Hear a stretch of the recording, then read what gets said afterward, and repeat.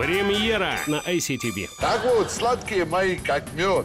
Летим мы теперь не в Буэнос-Айрес, не в Таиланд, а в солнечный Тбилиси. Всем хорошего отдыха. Там бадильди, там бадильди, там бадильди, там.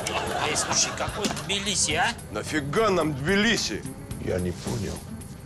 Вам что, не нравится солнечный Тбилиси?